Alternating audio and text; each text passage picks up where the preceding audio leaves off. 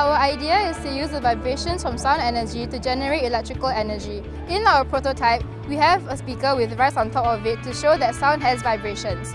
Since sound can vibrate rice, it can also vibrate our replica of a tuning fork with two piezoelectric elements on top of it. When this tuning fork moves, it can generate a volt which shows that it has electricity. Behind our replica, we have our own city in 2050.